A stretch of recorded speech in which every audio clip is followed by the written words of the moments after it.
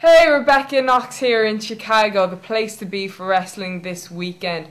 Saturday and Sunday, May 2nd and 3rd, there's going to be four Shimmer DVD tapings in Berwyn, Illinois, the Eagles Club. Make sure that you're there to check it out.